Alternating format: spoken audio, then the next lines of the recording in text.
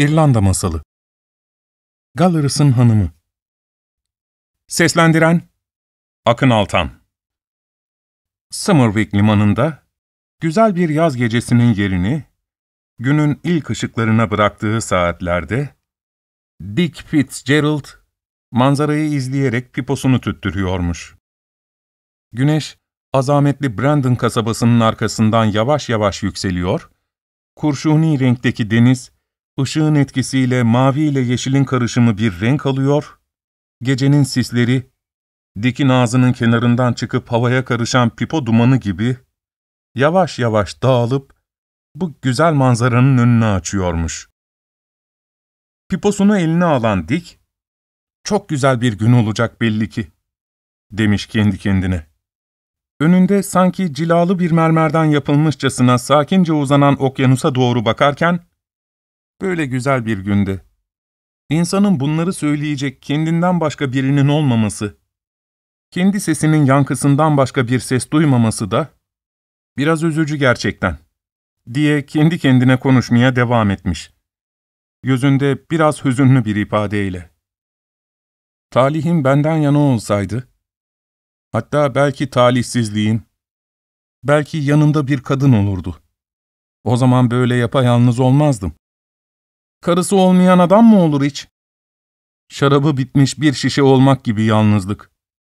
Müzik olmadan dans etmek ya da tek bacağı olan bir makas. Hatta kancasız bir olta. Bir şekilde tamam olmayan her şeye benziyor yalnızlık.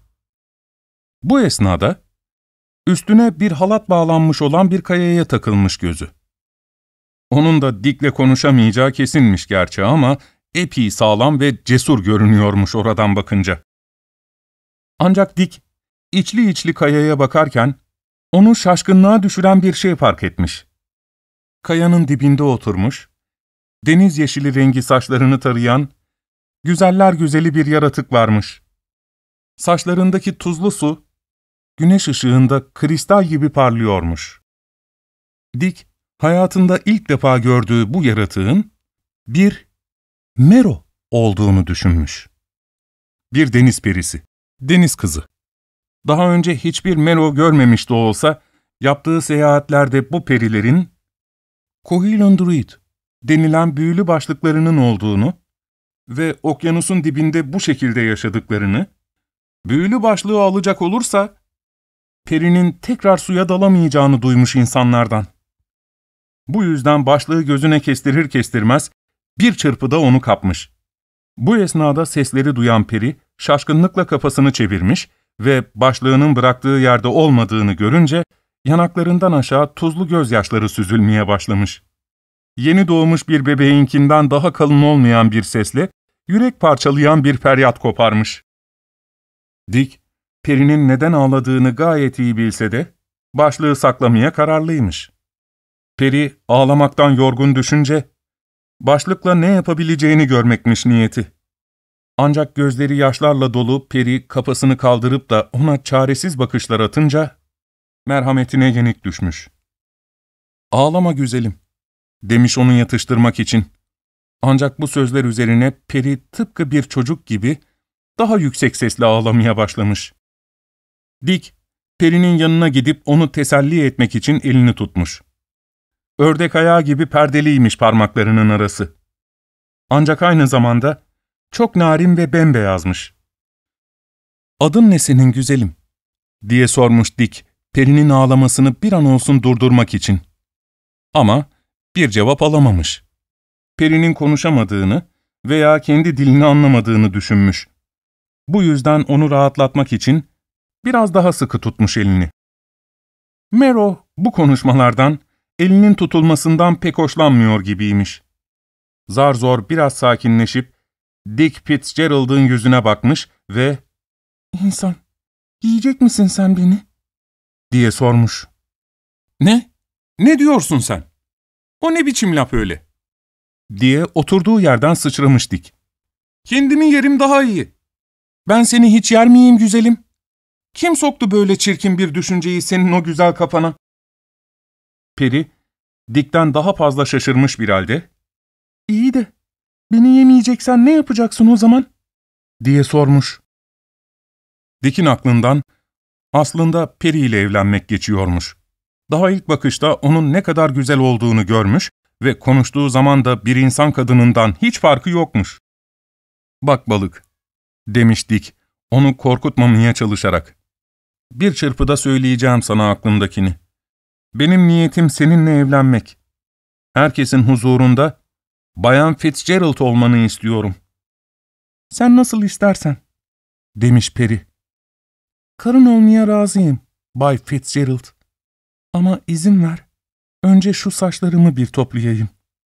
Bunu yapmak istemesinin nedeni, muhtemelen yabancı insanların arasına gireceğini bilmesi ve deniz yeşili rengi saçlarıyla çok dikkat çekmek istememesiymiş. İşi bitince tarağını cebine koymuş ve eğilip suya doğru bir şeyler söylemiş. Dick, kızın sözlerinin adeta bir rüzgar gibi suyun üzerinde okyanusa doğru ilerlediğini görmüş ve merakla sormuş. ''Sen denizle mi konuştun az önce, miniğim?'' ''Merak etme.'' demiş peri keyifli bir sesle. ''Babama haber gönderiyorum ki, eve dönmediğimde kayboldum sanıp kaygılanmasın.'' ''Kim ki senin baban?'' diye sormuş Dick. ''Ne?'' demiş Mero şaşkınlıkla. ''Sen benim babamın kim olduğunu duymadın mı hiç? Dalgaların kralıdır o.'' ''O zaman sen de gerçek bir prensessin ha?'' demiş Dick, gözlerini iyice açıp müstakbel eşini baştan aşağı süzerek. ''Bense basit bir insanım işte. Senin baban kralsa, o zaman deniz dibindeki bütün hazinelerin, bütün paraların sahibidir değil mi?'' ''Para'' diye tekrarlamış Mero. ''Para nedir ki?'' ''Para çok güzel bir şeydir. Herkes ister onu.'' diye cevap vermiştik. ''Acaba balıklar senin istediğin her şeyi getirirler mi sana?'' ''Elbette getirirler.'' demiş Mero. ''Benim her istediğimi yapar onlar.'' ''Açık konuşmam gerekirse'' demiş Dick. ''Benim samandan bir yatağım var. Ama senin gibi bir kral kızına yakışır mı hiç samandan yataklarda yatmak? Belki sen söylesen, balıklar bize kas tüyünden yumuşacık bir yatak getirirler. Birkaç da güzel yorgan. Gerçi ne diyorum ben? Belki de suyun altında yatak diye bir şey bile yoktur. ''Niye olmasın?'' demiş Peri. ''Bay Fitzgerald, istediğin yatak olsun senin. Benim sırf kendime ait 14 tane istiridye yatağım var.'' ''Öyle mi?'' demiş Dick, biraz kafası karışmış halde. ''Ben kas tüyü bir yataktan bahsediyorum. Ama belli ki sizin yataklarınız biraz değişik oluyor.''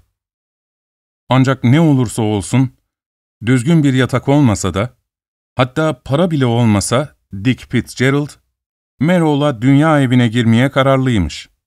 Böylece yola koyulup Galleris'tan o sabah Peder Fitzgibbon'ın bulunduğu Ballinran'ine gitmişler. Ancak peder şaşkınmış. ''Bu ne biçim iş böyle Dick Fitzgerald?'' diye sormuş. Oldukça öfkeli ve aynı zamanda kasvetli görünüyormuş. Bu yarı balık, yarı insan kadınla mı evleneceksin? Daha neler? Gönder bu pullu yaratığı kendi insanlarının yanına. Geldiği yere gitsin. Dick, pederin sözlerinden etkilenmiş. Kohil'in druid da o esnada elindeymiş ve Mero heyecanla ona bakmaktaymış. Dick, tam büyülü başlığı periye verecekken, o anda aklından çıkıp gitmiş olan bir şeyi hatırlamış. Peder, bu bir kralın kızıdır demiş. Bir değil, elli kralın kızı da olsa fark etmez, demiş Peder Fitzgibbon, iyiden iyiye hiddetlenerek. Evlenemezsin onunla. Kadın insan bile değil, resmen balık. Ne olursun peder, demiş Dick, sesini biraz alçaltarak. Ay gibi güzel yüzüne bak şunun. Görmüyor musun? Nasıl vazgeçerim ben ondan? İsterse güneş kadar güzel olsun. Hatta isterse aydan, güneşten, bütün yıldızlardan daha güzel olsun Dick Fitzgerald, demiş peder sağ ayağını yere vurarak. Balık bu, düpedüz balık. Evlendiremem seni onunla. Ama denizin dibinde ne kadar altın, Ne kadar hazine varsa onun, demiş Dik, çaktırmadan pedere yaklaşıp. İki dudağının arasında. Getirmelerini isteyiverirse, getirip serecekler önümüze.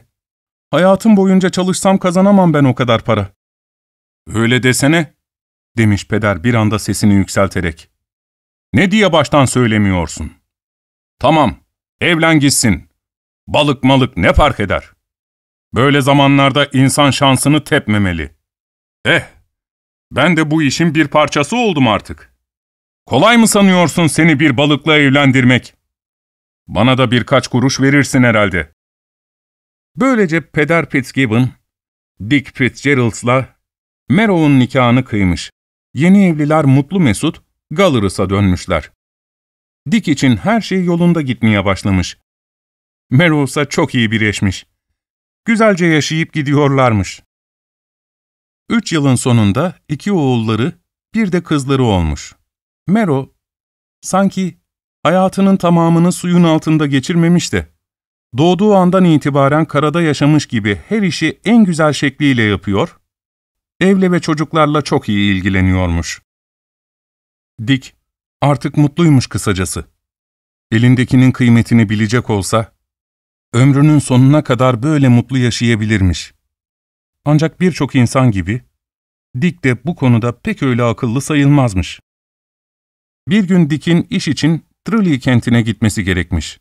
Çocukları ve evi karısına emanet edip yola çıkmış. Dick gittikten kısa süre sonra Bayan Fitzgerald temizliğe koyulmuş. Sağ solu toparlamış, süpürmüş, derken balık ağının olduğu yerin epey tozlu olduğunu fark etmiş. Arkasını temizlemek için ağa çektiğinde duvarda bir delik olduğunu görmüş. Deliğin içinde de kendi büyülü başlığı Kohilin duruyormuş. Başlığı almış, şöyle bir evirip çevirmiş, derken aklına babası, annesi, kardeşleri gelmiş. Bunca yıl bir sürü meşguliyetin arasında fark etmeye hiç vaktinin olmadığı aile özlemi bir anda yüreğini yakmaya başlamış. Bir tabureye oturup denizin altında geçirdiği güzel günleri düşünmüş. Sonra çocuklarını, Dick'in ona olan sevgisini ve kendisini kaybederse üzüntüden nasıl deliye döneceğini düşünmüş. Ama beni hepten kaybedecek değil ya, demiş sonra kendi kendine. Ailemi görüp, özlem giderip döneceğim. Yıllardır annemi babamı görmedim. Bunun için bana kızacak hali yok ya. Ayağa kalkıp kapıya doğru yürümüş. Ancak tam dışarı çıkacakken geri dönmüş. Beşikte uyuyan çocuğa bakmış ve onu yavaşça öpmüş. O esnada gözünden dökülen yaşı silip büyük kızına seslenmiş. Ona kardeşlerine iyi bakmasını ve kendisi dönene kadar uslu durmasını söylemiş. Daha sonra denizin kıyısına gitmiş.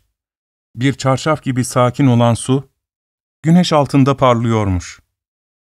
Bir an güzel bir sesin şarkı söylediğini duyar gibi olmuş. Sanki onu denize çağırıyorlarmış. O esnada eski hisleri ve düşünceleri sarmış ruhunu.